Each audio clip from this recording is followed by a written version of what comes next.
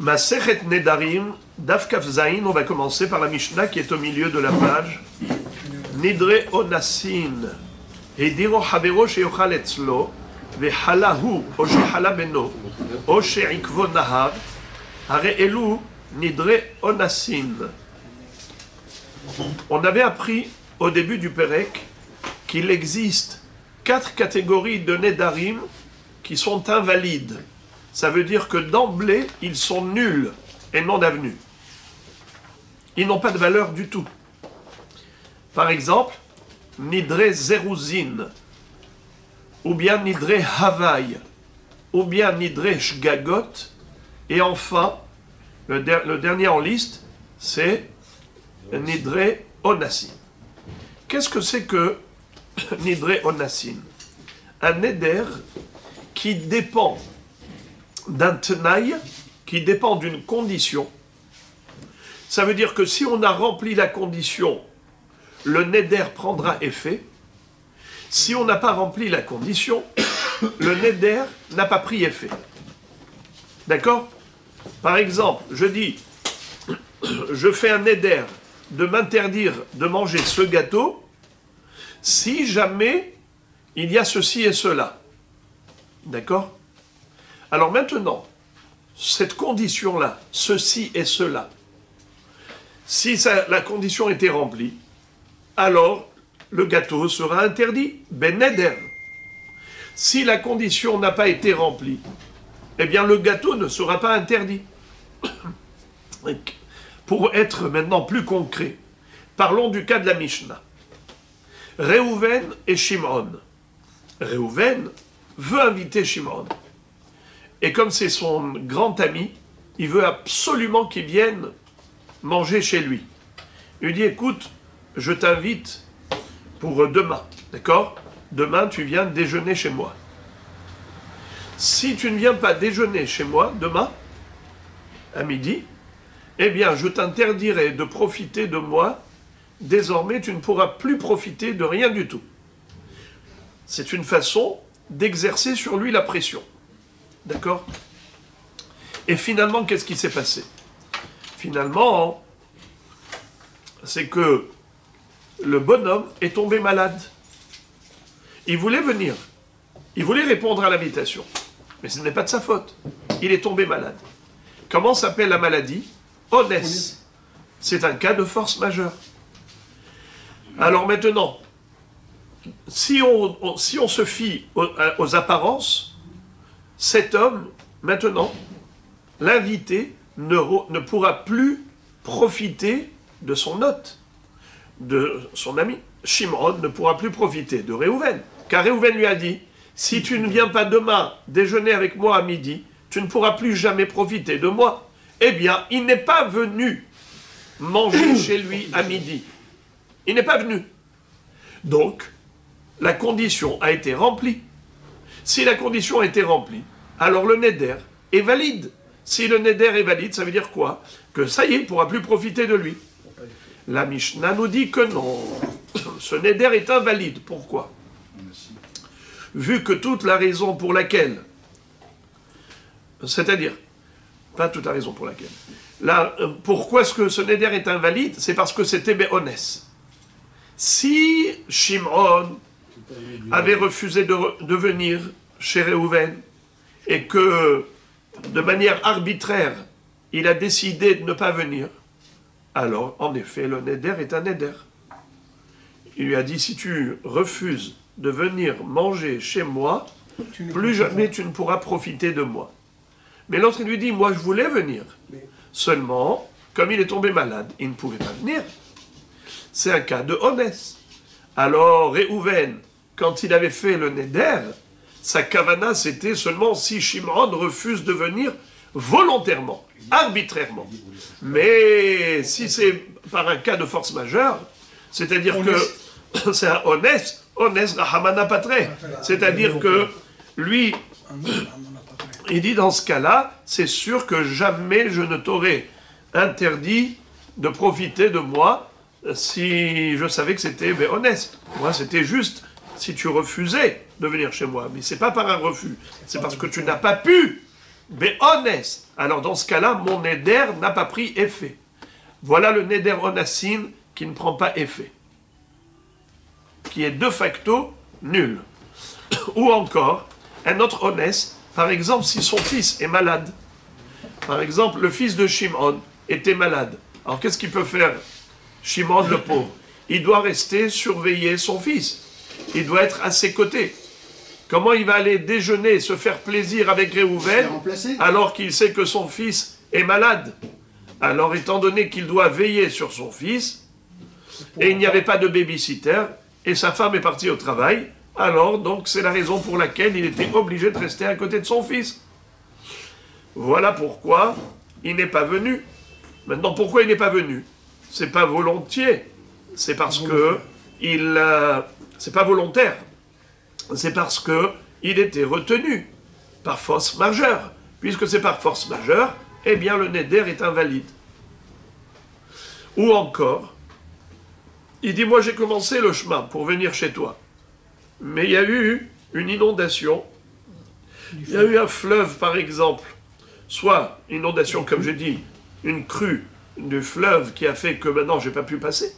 Ou bien je suis, je suis arrivé devant le fleuve normal, mais il n'y avait pas de bateau. Normalement, il y a une navette. Mais là, le bus, il passait pas. Pendant des heures, il n'y a pas eu de navette. À l'heure du déjeuner, je n'ai pas pu venir. Là encore, ça s'appelle un cas de force majeure. Étant donné que la condition a été remplie, certes, mais pas volontairement, c'était honnête. Alors, par rapport à honnête, le, celui qui a fait le neder, il a dit non, moi je fais un neder au cas où volontairement tu ne veux pas venir chez moi. Mais si c'est involontaire, c'est honnête, il n'y a pas de problème. Pourquoi est-ce qu'on a besoin de trois illustrations de honnête Pourquoi on a besoin de nous dire le cas où il est tombé malade, où son fils était malade, où il n'a pas trouvé de navette pour traverser le fleuve?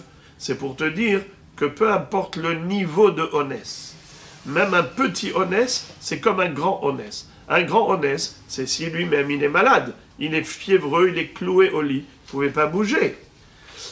Ça, c'est sûr que c'est un grand honnête. On peut comprendre que dans ce cas, le neder n'est pas un neder. Mais le hidouche, il est même moins que ça. Par exemple, lui, il pouvait venir. C'est son fils qui était malade.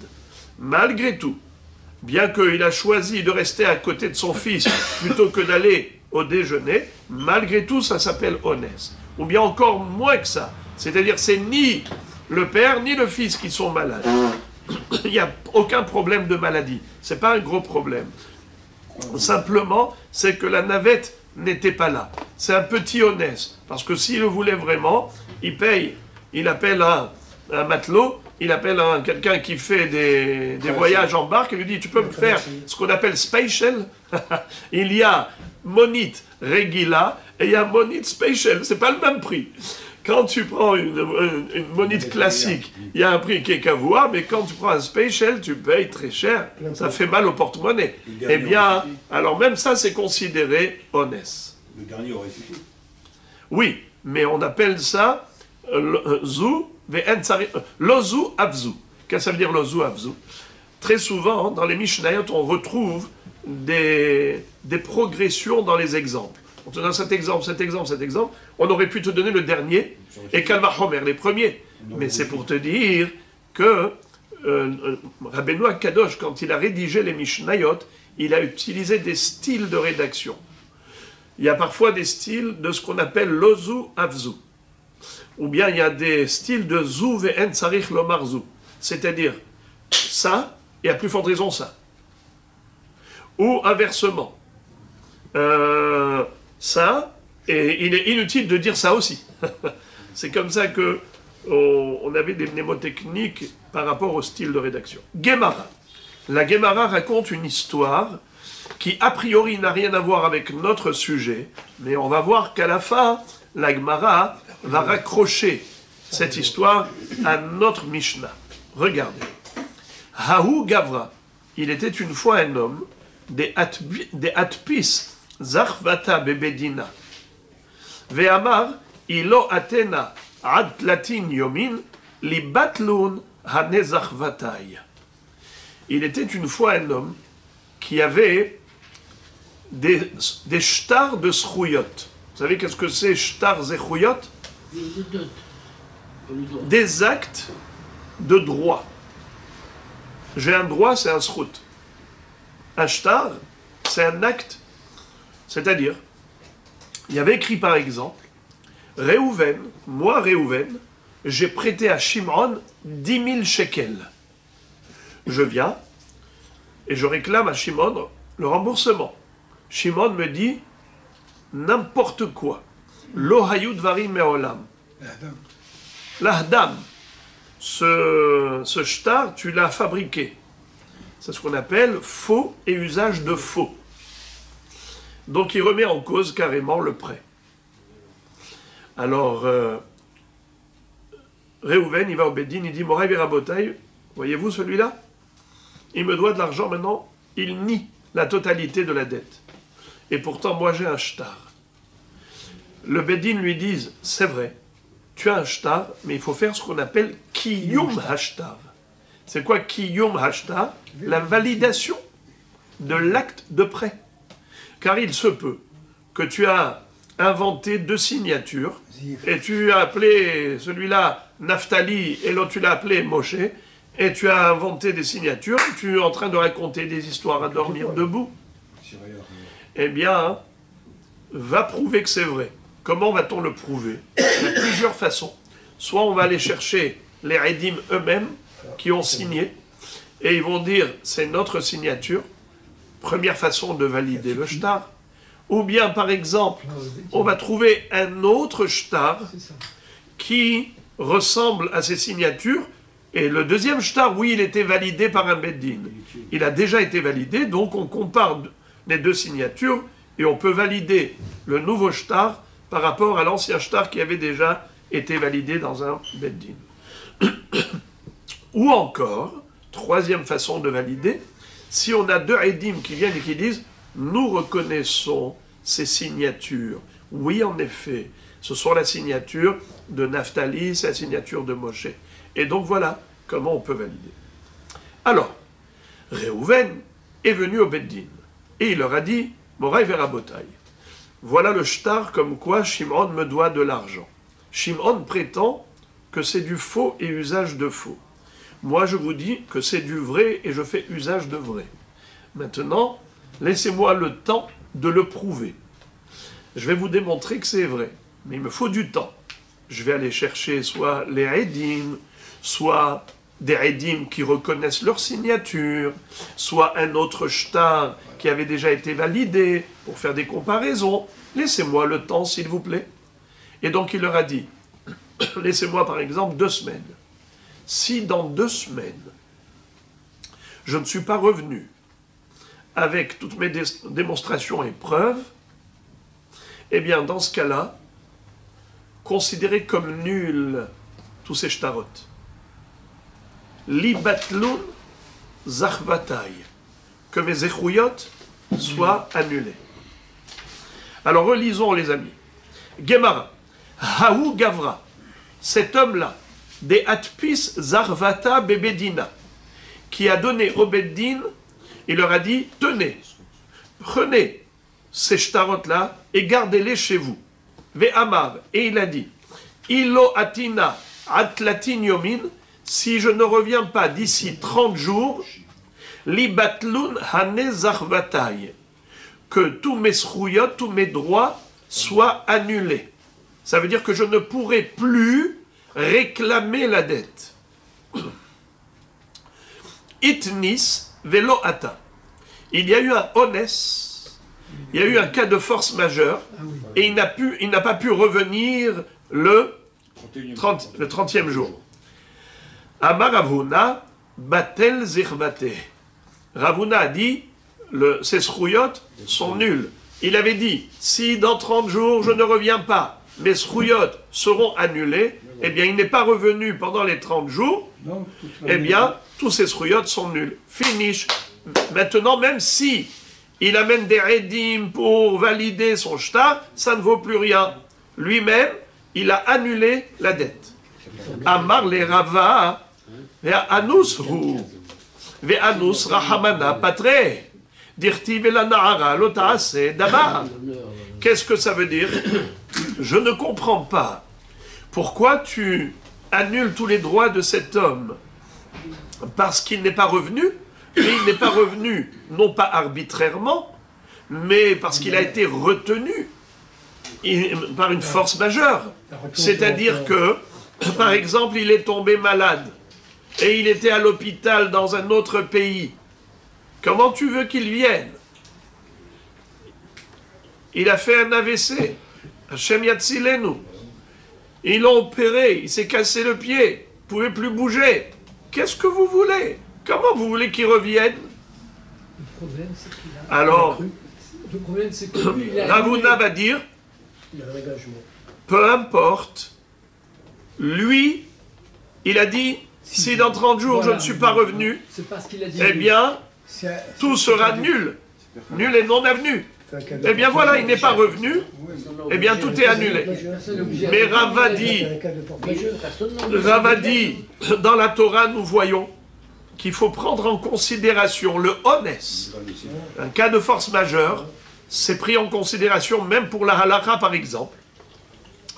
Une jeune fiancée, si elle a trompé son fiancé et qu'elle a été avec un autre homme, vous savez qu'à l'époque, d'abord on se fiançait, ensuite on se mariait. Aujourd'hui, quand on dit fiançailles, fiançailles c'est du folklore, c'est juste une façon de s'engager verbalement, mais il n'y a pas de kinyan vraiment. À l'époque, on faisait vraiment un kinyan. Le Hatan disait à la Kala, mekudeshet li betaba'at kedat Moshe ve. Seulement, on faisait pas la roupa et les Sheva Brachot jusqu'à un an plus tard, le temps qu'elle prépare le trousseau. En attendant, entre Kiddushin et Nisu'in, elle est Aroussa. Si elle va avec un autre homme et qu'elle a trompé son Hatan, elle est, bravo, elle est Aroussa, elle est Eshet Ish, elle est Hayevet Skila. Elle est passible de. Ah, Srefa si c'est une Kohenet. Hein? D'accord Alors, Moray Verabotaï, figurez-vous que cette fille-là a été violée. Quelqu'un l'a attrapée quand elle, elle était en train de se promener gentiment dans les champs. Elle n'était pas en ville. Et donc, quand elle a hurlé, elle a appelé au secours, personne ne l'a entendu. Alors, étant donné qu'elle a appelé au secours, personne n'est venu à son secours, parce qu'elle était dans les champs, eh bien, c'est comme un assassin. Quelqu'un qui viole, c'est comme un criminel qui tue. Vela Nahara Lota'ase Davar. La Torah dit, puisque elle, elle a hurlé et elle n'a pas été répondue, alors ne lui fait rien. Vu que elle est Anoussa, qui ka'asher yakum ish al re'ehu nefesh ken. Comme un homme qui saute sur l'autre et qui le tue, eh bien, qu'est-ce qu'il peut faire le, celui qui a été tué? Il est coupable Ainsi, cette fille n'est pas coupable. Elle est victime de ce honnête. Alors, tu vois que quelqu'un qui est anous n'est pas coupable. Là aussi, cet homme-là, il a dit au Beddin, si je ne viens pas d'ici 30 jours, eh bien, vous annulez mes srouillottes. Mais lui, il voulait revenir. Seulement, il est tombé malade. Donc, il était anous. Anous, tu peux pas le tenir coupable. Tu peux pas tenir responsable quelqu'un qui ne fait que subir. Il est victime de son état de force majeure. Donc tu ne peux pas dire, voilà, il n'est pas venu dans les 30 jours. Non, il ne faut pas annuler ses mérites. Il ne faut pas annuler ses droits. C'est ce que dit Rava. Rava poursuit et pousse le bouchon encore plus loin. Et il va dire, peut-être que toi, Ravuna, tu vas dire que le cas de la Torah, de la femme fiancée, c'est parce qu'on parle là-bas de dîner les. On parle de normalement une jeune fille qui euh, qui a volontairement trompé son fiancé, alors elle est passible de la peine capitale. Alors on parle en effet de lapidation alors, par rapport à Ktala, à une condamnation à mort. Alors par rapport à quelque chose de si grave, la Torah prend en considération le honest.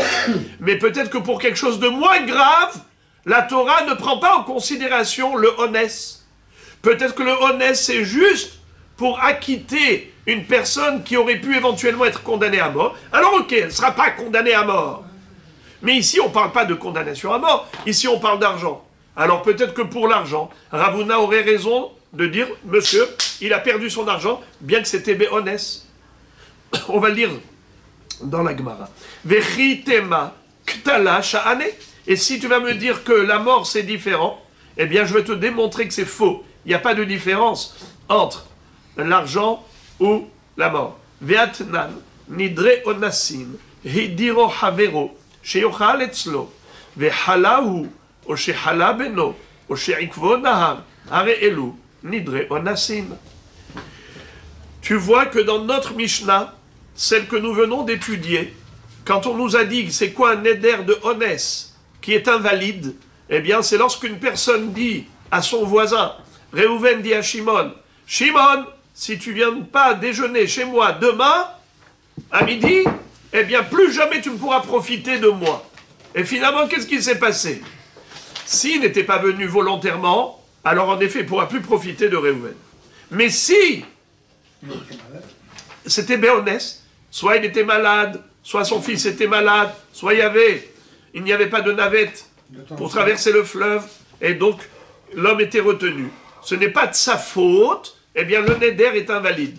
Tu vois que le neder, pardon, tu vois que le honès a un effet, pas seulement sur une histoire de mort ou de vie, mais même pour un simple neder. Le neder est invalidé parce que la personne, elle était, elle n'a pas pu remplir la condition. Mais béhonès, très bien. Donc on a compris que Rav Huna et Rava sont en mahloket par rapport au srouyot d'un homme qu'il a lui-même annulé en disant j'annule si je ne reviens pas d'ici 30 jours. Alors, si pendant les 30 jours il n'a pas pu revenir béhonès, est-ce que ça annule ses mérites malgré tout? Oui ou non? Ravuna dit oui, ça annule ses mérites euh, parce qu'il n'est pas revenu. Et, et, et Rava dit non, ses droits ne sont pas annulés car il a été retenu que béhonès. Et maintenant, la Gemara va analyser. Elle pose la question. Elle s'adresse à Rava. Elle dit, toi Rava, qui pense que le honnête, il a un impact, pas seulement sur le neder, mais même pour l'annulation des srouillottes. Il n'y aura pas d'annulation de srouillottes si la personne était retenue béhonès. Ou le rava, maishna mehadit nan, giter, me'archav, imlo bati, mikan ad shnem asar chodesh, umet, betor shnem asar chodesh, get. Amai Veha Minas Itnis.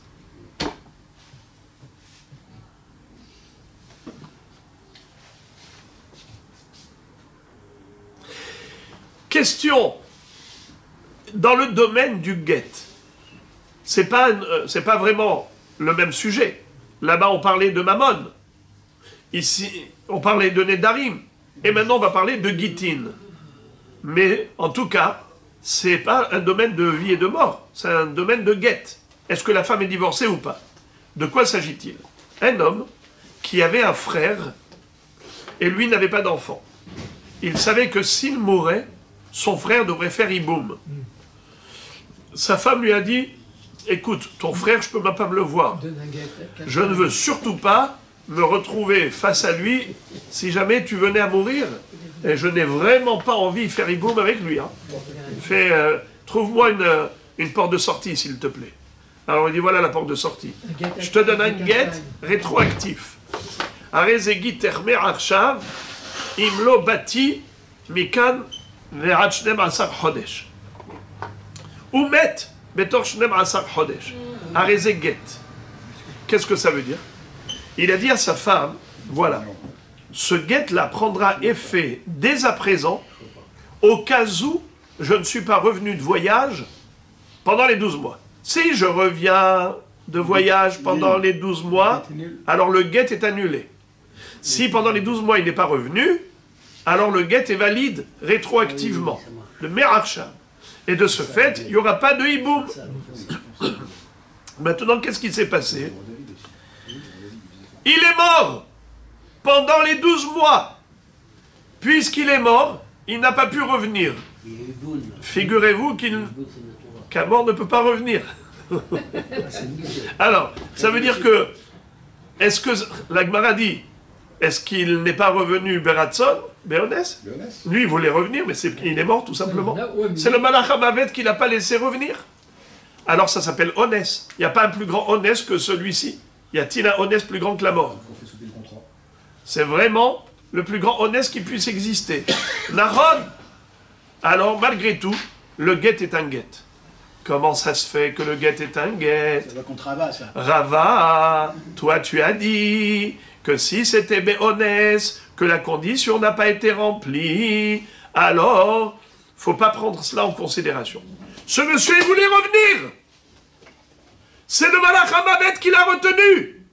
Si le Malach Hamavet ne l'avait pas tué, il serait revenu chez sa femme. Pendant les 12 mois, il voulait revenir. Et malgré tout, qu'est-ce que tu dis? Finalement, t'es pas revenu? Pendant les 12 mois, t'es pas revenu? Parce que tu es mort, alors tu n'es pas revenu, eh bien, le guet est un guet rétroactivement. Pourtant, il n'est pas revenu, Béonès, parce qu'il est mort. Question sur Rava. Rava qui a dit que quand c'est Béonès, alors c'est pas de sa faute.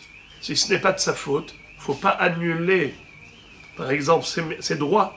Quand il a dit annuler mes droits si je ne reviens pas, eh bien, c'est seulement s'il ne revient pas, Beratson, c'est là qu'on annulerait ses droits.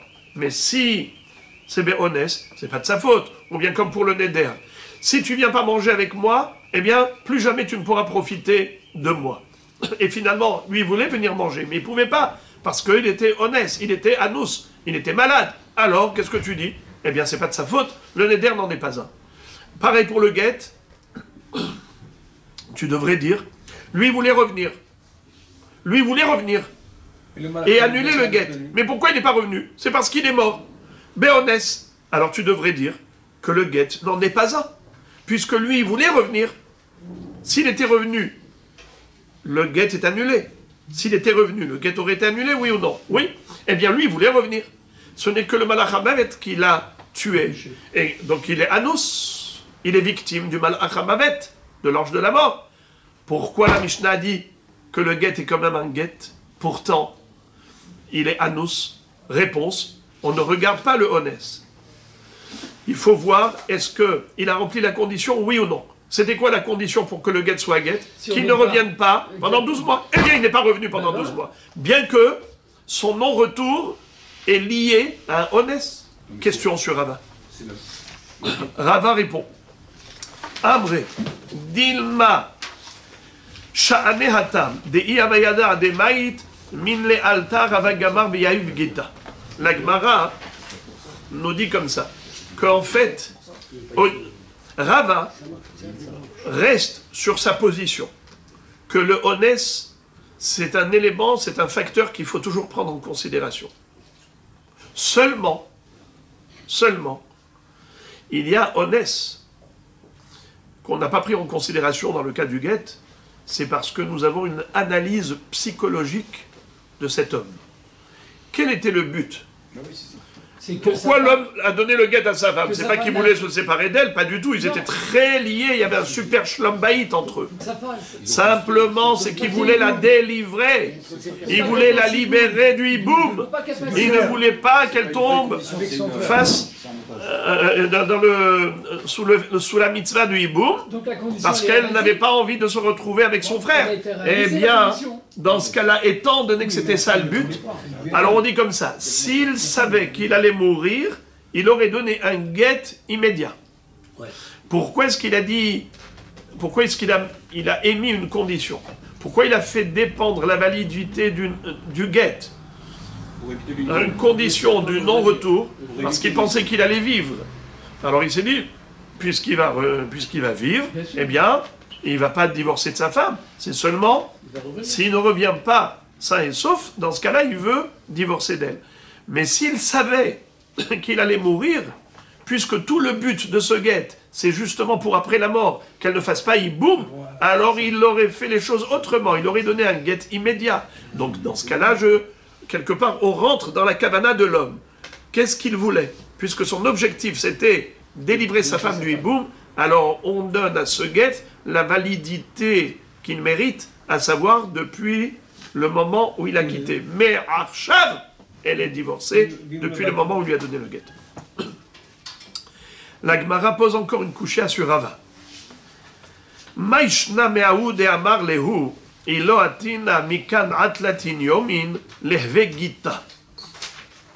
Ata ou paske marbera. Amar leu hazou de atay, hazou de atay. Ve'amar shemuel losh mehmatia. Amay veha minas anis. Qu'est-ce que ça veut dire? Encore une kouchia que l'on adresse à Rama. Rava, qui prétends que le honnête, c'est quelque chose qu'il faut prendre en considération.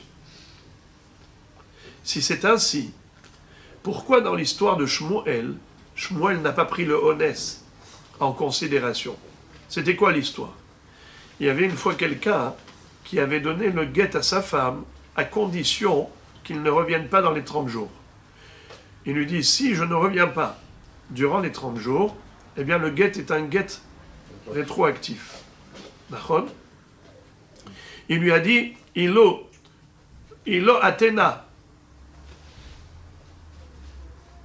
Euh, pas rétroactif, excusez-moi. Pas rétroactif. Il a dit, si je ne reviens pas dans 30 jours, eh bien dans 30 jours, le guet est un guet. Donc ça veut dire qu'à la fin des 30 jours, tac, le guet prend effet. Alors maintenant, qu'est-ce qui s'est passé? Le bonhomme est, est revenu. Il est revenu Mais quand? Le 30e jour. Il arrive le 30e jour et il dit Rabotaille, Rabotaille, regardez-moi. Moi, je veux rentrer dans la ville, mais il n'y a plus de navette, il n'y a plus d'autobus, il n'y a plus de barque pour faire, me faire traverser le fleuve. Alors, il dit Mais quoi Il n'y a pas de barque Il n'y a plus de barque il appelle au secours, tous les téléphones, il appelle tous les numéros. Personne qui peut le faire traverser. Trop tard. Alors ce monsieur-là maintenant, il voit le soleil se coucher le 30e jour. Et avant que le soleil se couche, il appelle tout le monde. Il leur dit Hazou de Ataï, Hazou de Ataï. Regardez, voyez, je suis arrivé, je suis là, je suis là, je suis là. Dites à ma femme que le guet n'est pas un guet. Le soleil s'est couché, la nuit est tombée, et Shmuel va dire, eh bien, le guet est guet. La femme est divorcée. Loshmeh Matia, ça s'appelle pas qu'il est revenu dans la ville. Il avait fait un tnaï. Si je ne reviens pas, où? Dans la ville. Mais là, il est de l'autre côté du fleuve. Il n'est pas revenu. Il est honnête. Ah, c'est la couchée sur Rava. Évidemment. Mais ce n'est pas de sa faute, le pauvre. Regardez combien il pleure.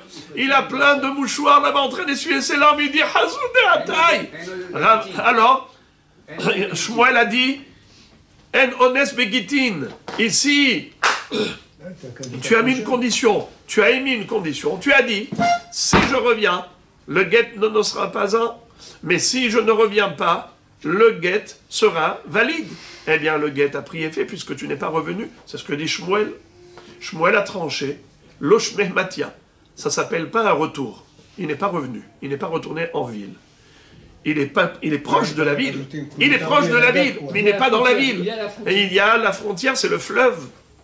Loshmeh Matia. Et pourtant, c'est Béonès. Le pauvre, c'est parce qu'il n'a pas trouvé de Maraboret, de Marabra. C'est le- la navette. Il n'y avait pas de barque. Alors, c'est Béronès. Et Rabat, qu'est-ce qu'il a dit, Rabat? Rabat a dit il faut toujours prendre en considération le honnête. C'est un cas de force majeure, le pauvre. C'est un cas de force majeure.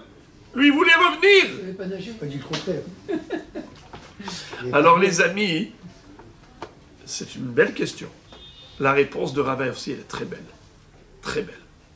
Il va dire il y a Onès et il y a Onès. Il y a un Onès qui est inenvisageable et il y a un Onès qui est prévisible. Un Onès tel que la Mahaboret, c'est prévisible. Dis-moi, mon cher ami. Tu viens pas le 30e jour, on sait jamais. Tu arrives le 30e jour et tu comptes sur la navette. Mais dis-moi, tu crois que ils t'attendent pour euh, voyager? La navette, elle a des heures de travail. Et peut-être que, voilà, à un moment donné, tu vas arriver où il n'y aura plus de navette. Euh, quand tu arrives, tu as pris un risque. Tu as pris un risque. Tu as pris un risque, ça ne tient qu'à toi. C'est pas un honnête. Un honnête, c'est quelque chose qui t'échappe totalement. Mais quelque chose qui est prévisible, qui est envisageable, alors dans ce cas-là, c'est pas un vrai honnête. Maintenant, toi, tu t'es mis dans le honnête en quelque sorte. Toi, tu t'es mis dans le honnête. Mais c'est un honnête que tu aurais pu prévoir. Il y a des choses qui sont imprévisibles. C'est un vrai honnête.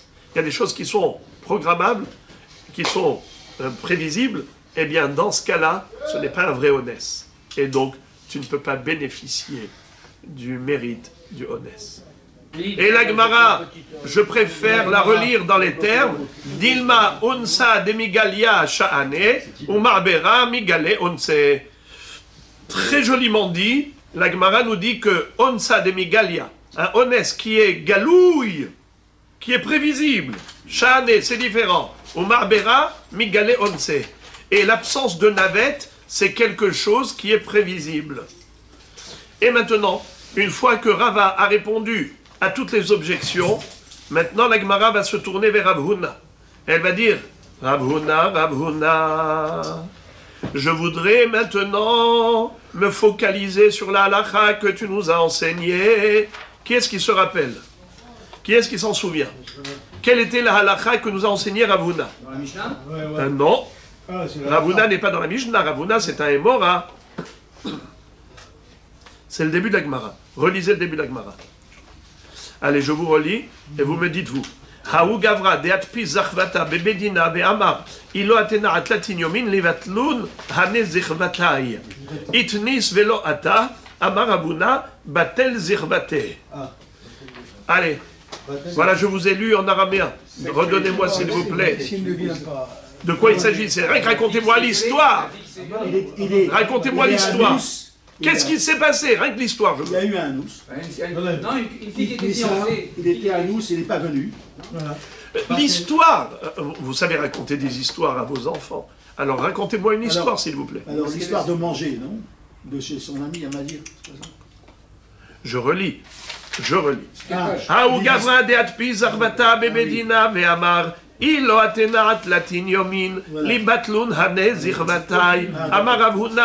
pardon itnis velo ata batel. C'est un homme qui est venu aussi Il a avec stars, ses stars, Il star. est venu avec des stars, il a dit 30 que jours, cette il avait personne-là, cette passé, personne-là, elle me doit de l'argent. il a été malade et malgré tout, ça, marche. on Very good. Alors, Réhouven a demandé à Shimon, rembourse-moi le prêt. Je t'ai payé 10 000 shekels. Voilà le shtar. Shimon a dit, sheker, faux et usage de faux. Tu as fabriqué des, si- des signatures, tu as inventé une dette, je ne te dois absolument rien. Alors il le poursuit en justice. Qu'est-ce que fait Réhouven Il dit au Dayanim, tenez, gardez-vous les actes, euh, les, actes de prêt. Mon. Je vais aller chercher des preuves comme quoi ce sont des signatures valides et le prêt est valide. Alors, si je ne reviens pas d'ici 30 jours, considérez comme nul Et le Shtar. Ok? Alors maintenant, qu'est-ce qui s'est passé? Cet homme, il n'est pas revenu dans les 30 jours, mais béhonès. Par exemple, il est tombé malade. Ce n'était pas de sa faute, il s'est cassé le pied. Il était dans un hôpital qui se trouvait dans une autre ville. Alors, c'est pas de sa faute. Qu'est-ce qu'a dit Ravuna? Que ce soit de sa faute ou pas de sa faute, c'est le même prix.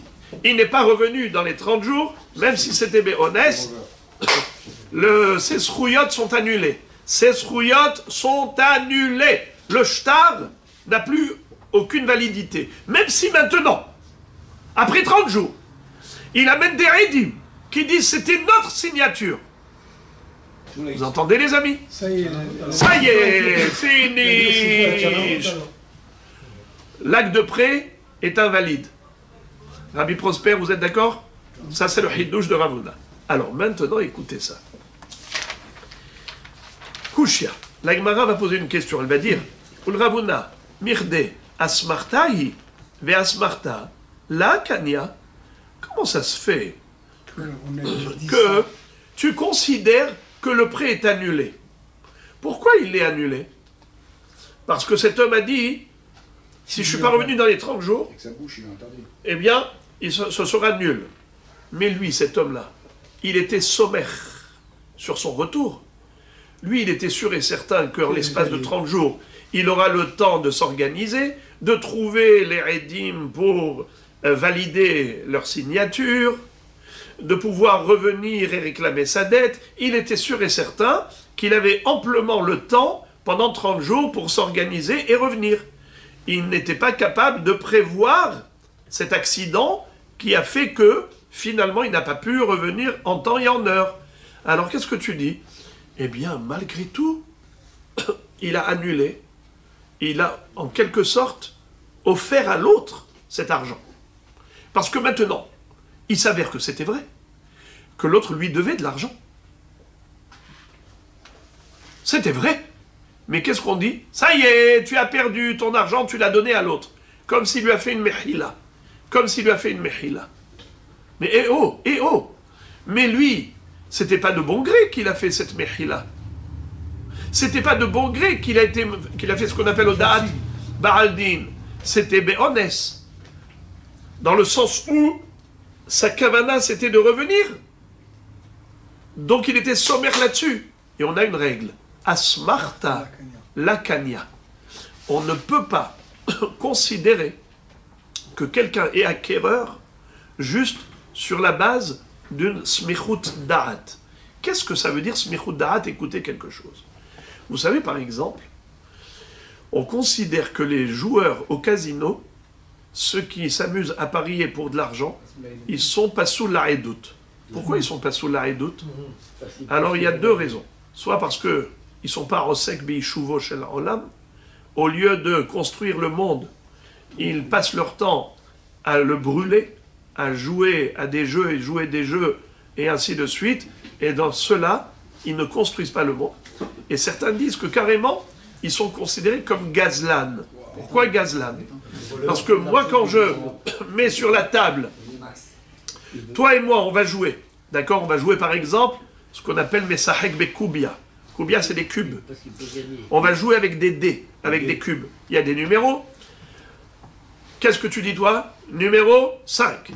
Toi, numéro 2. Hoppa 2. Qui a gagné la mise? Eh bien, celui qui a dit 2. Moi, j'ai mis 1000 shekels. Et toi, tu as mis 1000 shekels. Il y a 2000 shekels sur la table. C'est soit toi, soit moi qui gagnons. Et on joue au dé. Pac Et voilà qu'il y en a un des deux qui a gagné. Le gagnant, on l'appelle voleur. Pourquoi on l'appelle voleur Parce qu'il a empoché l'argent de l'autre. Mais comment ça Mais l'autre était tout à fait d'accord. Quand il a joué le jeu, il a pris un risque, et il était d'accord de prendre le risque. Alors on dit Asmarta la Kanya. Cet homme-là, il était sommaire sur ce qu'il va gagner et pas sur ce qu'il va perdre. Est-ce que vous pensez que quelqu'un veut perdre 1000 shekels en une minute. Non. Et de ce fait, pourquoi est-ce qu'il a joué à ce jeu? C'est parce qu'il pensait gagner. En fait, la personne, elle a pris le risque pour la chance, pas pour le risque. Elle a pris le risque pour la chance de gagner. Mais si on lui disait à 100% tu vas perdre, eh bien, elle n'aurait pas joué. Dans le sens où la, la personne, c'est pas de son, c'est pas de bon cœur qu'elle perd. Au contraire, elle était somméchette de gagner. Asmarta la kanya. D'accord Donc la même chose ici. Cet homme, il était sommaire de revenir pendant les 30 jours. Un incident a fait qu'il a été retenu, qu'il n'a pas pu revenir dans les 30 jours. Donc il n'aurait jamais voulu renoncer à cette dette. Lui, il voulait euh, euh, récupérer son argent, la dette. Seulement, il pensait qu'en 30 jours, il allait pouvoir s'organiser. il y a eu un accident, un incident, et il n'a pas pu revenir. Alors qu'est-ce que tu dis? Mais étant donné qu'il a dit, si je ne reviens pas pendant les 30 jours, gardez l'argent, c'est-à-dire que le bonhomme pourrait garder l'argent, j'annule tous mes srouillottes. Donc c'est basé sur quoi? Sur Asmarta. Shimron va empocher l'argent de Réhouven sur la base d'une Asmarta de Réhouven, que Réhouven il était sommaire de pouvoir revenir. Et nous avons une règle, que Asmarta, la Kanya, on ne peut pas être conné l'argent de quelqu'un qui était sommaire de ne pas nous le donner. Comme le joueur au casino, quand il était sommaire de gagner, il n'était pas sommaire de perdre. Asmarta, la Kanya. Est-ce que l'autre il a le titre de voleur quand même? En tout cas, ce qui est sûr, c'est que Ravuna est incompréhensible. Comment Ravuna a dit qu'il n'y a pas de problème, 30 jours se sont écoulés, il n'est pas revenu, eh bien, le- l'emprunteur, il garde l'argent, il n'a pas besoin de le rendre au prêteur. Réponse. Sha'ane hacha demitapsan zechute. Zechute. Qu'est-ce que ça veut dire? Étant donné que il a déjà donné au, au Beddin, c'est plus fort qu'une simple asmarta. Le fait d'avoir donné le shtar hov au Beddin, et il leur a dit voilà ce shtar, il n'est plus chez moi, il est chez vous. Alors, étant donné qu'il a fait une action et pas juste une parole, il a été matpis, le shtar hov au Beddin, c'est plus fort qu'une simple asmarta. Dans ce cas-là, c'est pas juste une asmarta classique, c'est une asmarta qui marche. Kanya. La Gemara dit Ah bon? Vecha de mitapsan Ah bon? Tu veux dire parce qu'il leur a donné au Beddin et qu'ils ont une emprise sur le shtar, alors dans ce cas-là, c'est pas considéré comme une asmarta classique. Une asmarta classique, le Kanya. Mais là, pourquoi c'était Kanya? Pourquoi euh, il était connu, l'emprunteur? C'est parce que le Beddin était Tofes, le shtar, Hov. Ah bon? Veatnan, pourtant on a appris dans ma Sechet Baba Batra, miktsat hovo, veishlish et shtaro, ve'amar, im en ani noten lo mikan yom,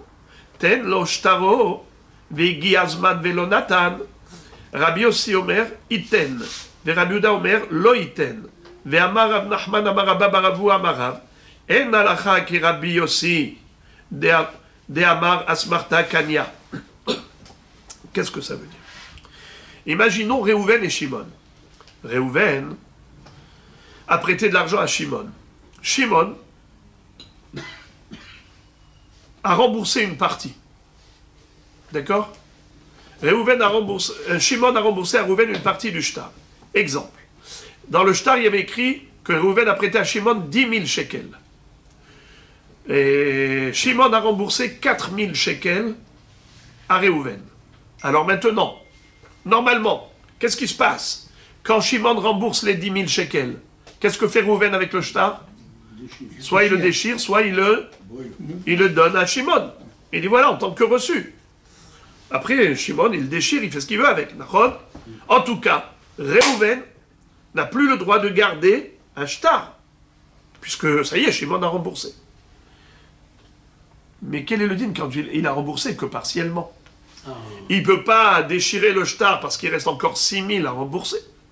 Et il ne peut pas garder le shtar parce que sinon il va lui réclamer encore une fois 10 000. Il fait un autre temps. Qu'est-ce qu'on fait Un compte séquestre. C'est-à-dire, on appelle une tierce personne, on va appeler Lévi, et il va dire à Lévi, garde le shtar. Le jour où il me remboursera la totalité, tu lui rendras le shtar. On le déchirera à ce moment-là. Alors regardez. Mi shepara miktsat hovo.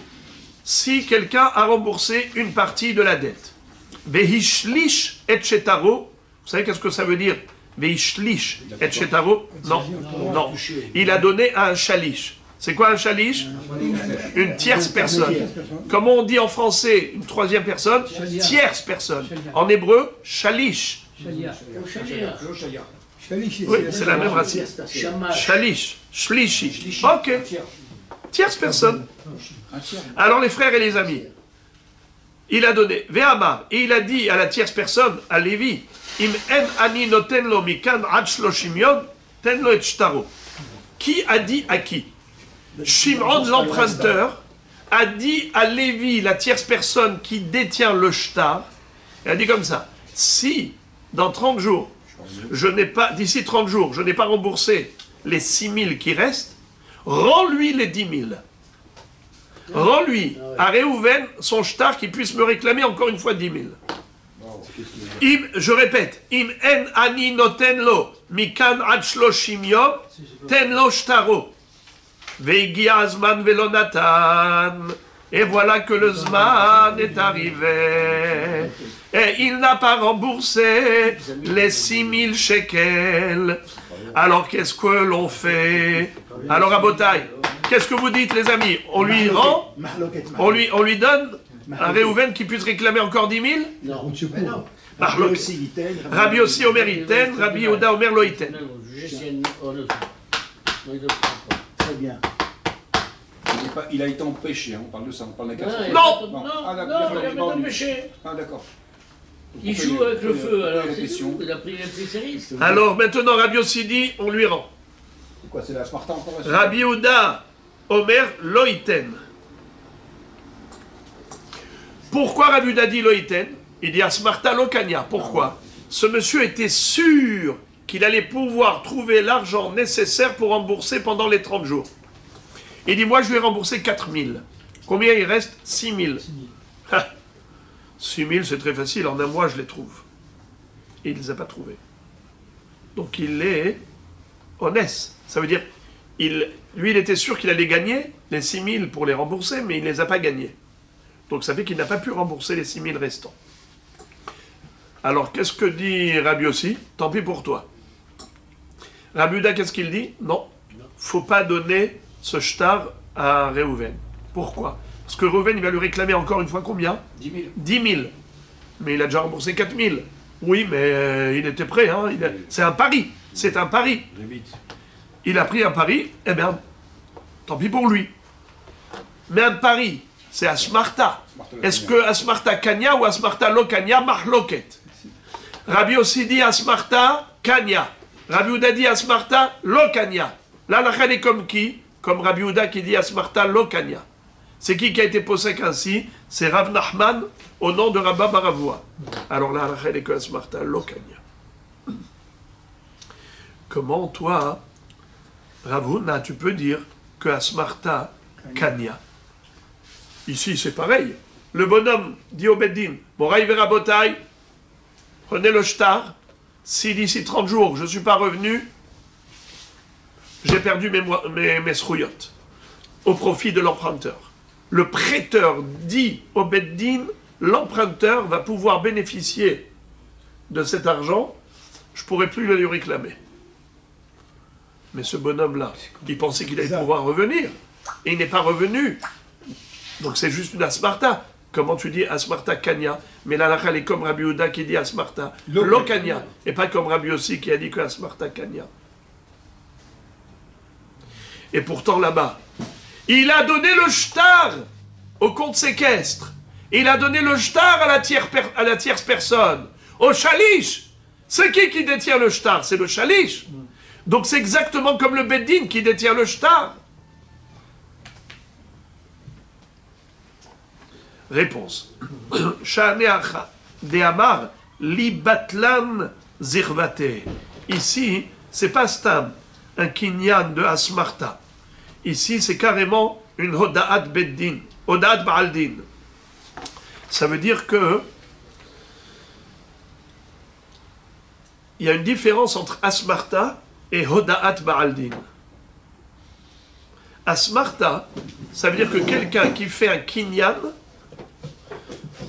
en comptant sur quelque chose. Vous entendez? Moi, par exemple, je suis modé, devant, devant le Beddin, je suis modé. Je dis, je vous dois 100 shekels. Je vous dois 1000 shekels. Devant le Beddin, je dis, je vous le dois.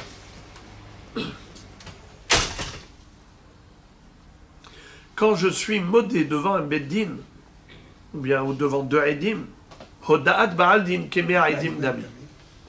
Quand il y a une Hoda'a, c'est comme s'il y avait 100 édim comme quoi je suis hayam. Si moi-même je me condamne, c'est comme s'il y avait 100 édim qui me condamnaient. Ok? Edim. La reconnaissance de dette de la personne elle-même, c'est considéré comme 100 témoins qui témoignaient qu'il devait cet argent. Eh bien, ici, c'est exactement ce qui se passe. C'est qu'on considère que, ici, c'est pas un problème de As- il n'y a pas de problème de Asmarta. Parce qu'ici, c'est pas Midin Kinyan. Tu as raison que Asmarta Lokanya. Il n'y a pas de Kinyan. Parce que Asmarta Lokanya. Mais ici, c'est pas en tant que Kinyan, c'est en tant que Odaat Baaldin. Et de ce fait, à ce titre-là, Rav Huna va dire que oui, quand il a été matpis au Beddin, et il a dit Li batlan lui-même il dit Li batlan alors c'est considéré comme étant euh, une Hoda'at Ba'aldin.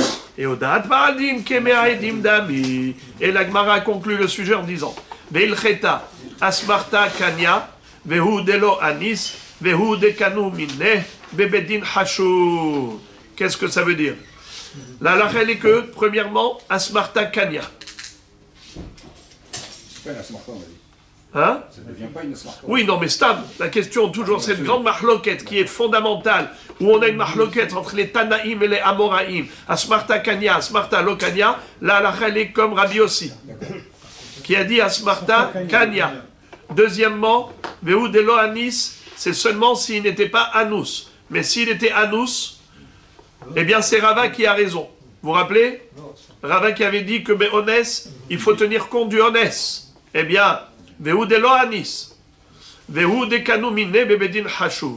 Et c'est seulement quand est-ce que la smarta elle est kona, quand est-ce qu'on dit que la smarta elle est kona, c'est seulement si la personne elle a fait kinyan devant un beddin hashuv. Devant un beddin, dans ce cas-là, en effet, la, même une asmarta elle est kona à condition qu'il y ait eu un vrai kinyan de fait devant un beddin important. Pas devant un chaniche. Voilà, exactement. Donc tout ça, c'est la fin du sujet de Nidre Onassin. Et demain, Bezrat Hashem, nous verrons la nouvelle Mishnah de Nodrin, la Haregin, la Haramin, la Morsin. Et donc, ça rentre un petit peu dans le, dans, le cadre de Nidre Onassin, euh, comme on a dit que c'est pas considéré comme étant un vrai Neder.